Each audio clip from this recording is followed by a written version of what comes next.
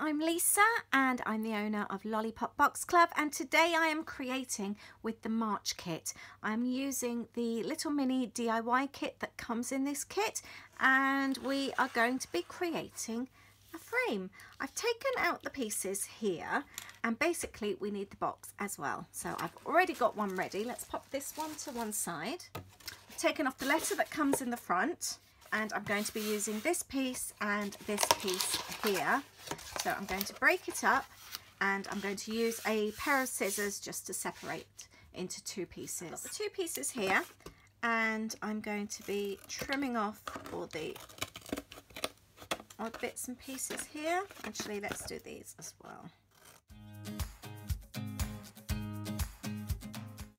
Can throw away all the little pieces you've just cut off and you're left with two tidy pieces. You can tidy up the edges afterwards, so don't worry too much.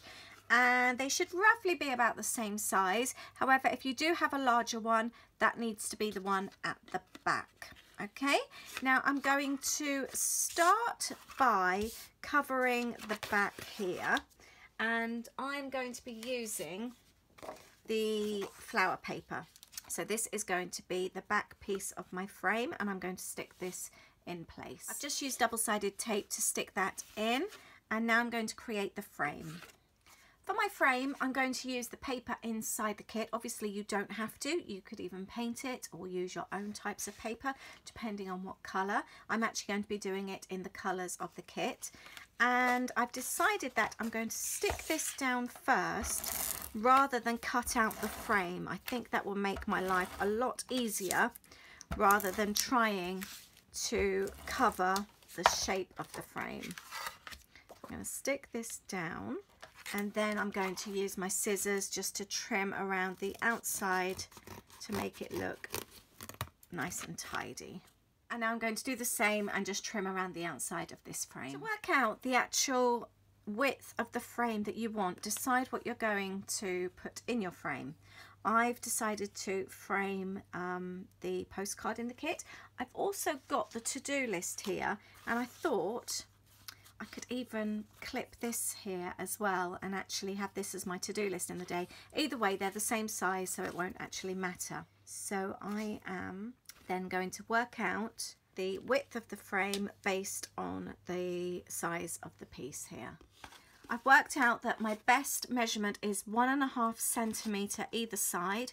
I've gone through, I've decided to do it on the back so that I don't have the pencil marks and I've drawn in my lines and now I'm going to use the ruler and I'm going to use my craft knife and I'm going to cut out the centerpiece to give me my frame.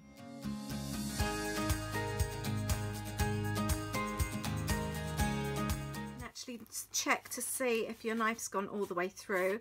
I've got a spot here where it hasn't, so I'm just going to go over that again. You actually need to go over that about three times in the end. So now this should just pop out and you've got your nice clean edges there's your frame and then I'm going to be sticking this on here I've decided to use 3D foam tape just to give myself a little bit of thickness like you would on a regular frame. I like using these sticky pads. I buy them from The Works. They're $1.99 for a big wad of these and you also get a big roll which to be honest I don't tend to use the roll. It makes my scissors sticky but um, I pass it on to my little niece who likes crafting and I let her use that but I'm going to use this and then I can stick it in place. Sticky pads are ready and I'm going to stick that down there we go right so here I've got a few little overlaps and to tidy that up it's just a case of running over with your craft knife again. Okay, the frame's ready. If you want to create a stand for the back, I've taken the piece that was in the centre and I folded it the top third there I would say and using the sticky tape and then bending it back that will then stand nicely.